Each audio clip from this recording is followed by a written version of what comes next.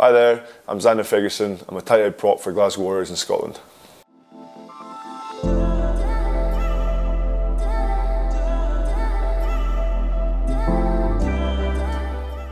Uh, my driving passion for rugby was part of my family. Um, I think my dad, my, my, uncles and everyone played growing, growing up and they were all ran at school and then yeah I sort of I was probably a bit too big for football back in the day. Um, I had two left feet, wasn't very skillful and so when I got told that I could tackle people and and I wasn't going to get in trouble for it. Yeah, I, thought, I sort of thought this is the sport for me.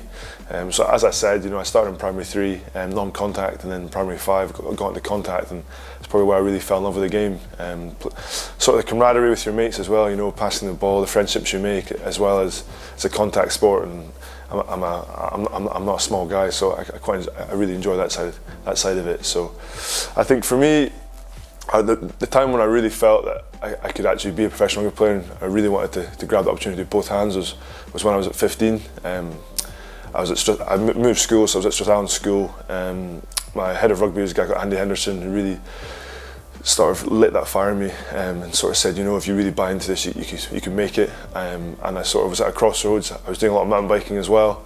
They want me to get a bit slimmer and lose a bit of weight, and rugby want me to move to prop and I chose the easy option. I mean, uh, moved to prop, but uh, it's turned it's, it's, turned out okay, so I can't complain. But yeah, sort of at that time, you know, I got into my um, nutrition, as I said, I got into my S&C and my strength and conditioning, and I was really lucky that I had some great coaches around me that really helped me and really um, propelled my love for the game even more. So um, yeah, here we are. Um, however many years later, um, still still driven every day to get better and really enjoying it. But I think the key thing for me was, yeah, as I said, you know, just play with your mates and doing something you love and, and doing it as a job is it's, it's a dream come true. Um, and I think seeing my dad and talking about him, you know, we used to watch Six Nations games back in the day when, we were all at home and as a family, and I've, I've always had rugby rugby in the household. So to, to be living out my dream and hoping to make my family proud, is a, yeah, it's, a, it's a dream come true. So I was a bit slimmer back in my old days. Um, if you ask my teammates, they probably say I wasn't, but I was number eight and I moved to prop. And so uh, when they told me that uh, I had to put weight on, it was quite an exciting challenge, um, which I grabbed with both hands. Um, so yeah, for me, nutrition, I first spoke about nutrition when I was about uh, 14, 15. Um, so uh, as soon as I got into the Caledonia uh, regional stuff and regional development, um, that's when we first, I first met a nutritionist and he told me everything I was doing was wrong. Um, having cereal, cereal and toast for breakfast, Um, so now I'm on to eggs and bacon, which is uh, much better for you.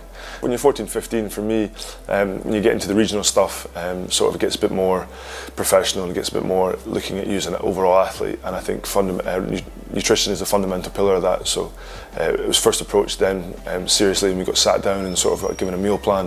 What do you eat on a daily basis? What can we do to help improve your gains in the gym as well as probably trimmed down a little bit for me. It was a, key fundamental of my growth as a rugby player. So, um, and as the years have gone on, it's just got more more crucial every year. So, um, yeah, I think I, I ballooned it probably one three five when I was when I was 17 at school, buffet lunches and buffet dinners. But uh, but now I'm, I'm, down back a bit trimmer. So growing up in a family of seven, um, I think nutrition for us was, uh, was yeah was, was, pretty key. Um, my poor mum, you know, had to cook for us all the time. Um, so I think when we went to boarding school, she was quite relieved for me and my little brother. Um, but yeah, I think key things for us, you know, just trying to get that, that protein, a key protein component every meal. Um, we sort of made that transition from from cereal to, to eggs when we started getting a bit older. Um, so we'd, we'd, probably take about 30 eggs, 30 eggs a week, you know, at least. Um, so I, I, was sort of given that task of making the scrambled eggs, so I've sort of perfected it over time. My wife doesn't agree, but I think I have.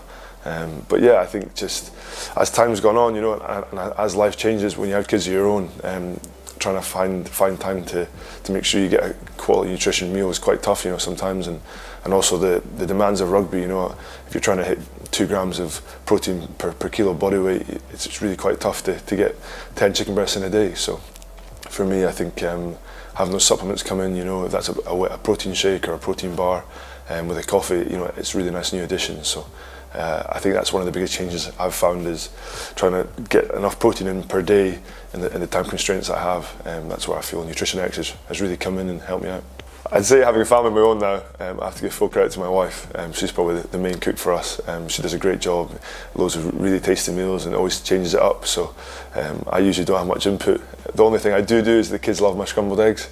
Um, she, will say they won't, but uh, that's the one thing I do every morning. Most mornings, you know, daddy's eggs. So um, yeah, you're gonna hopefully see that later on. But uh, yeah, that's one of the things I'd, I'd, probably take charge on. But I'd say that's probably one of the key things for me. A morning, mornings at school when I, when I was in my last two years um, would be a bit different to what they are now. You know, I'd have a bowl of cereal, a croissant, and maybe a, a bacon roll. So it's a massive carb content, and I probably wouldn't be doing anything until four o'clock in the afternoon. So, um, hence why I was a little bit heavier back back in my school days. So, so now you know I'm, I'm starting training first thing in the morning. I need to get that fuel in straight away. Um, so that could be a protein shake poached shake and banana, or it could be scrambled eggs on toast. So I'd say that's one of the key things as well that has had to change over time. But no, definitely my wife does the main brunt of the cooking and she does an excellent job. I hope you're listening.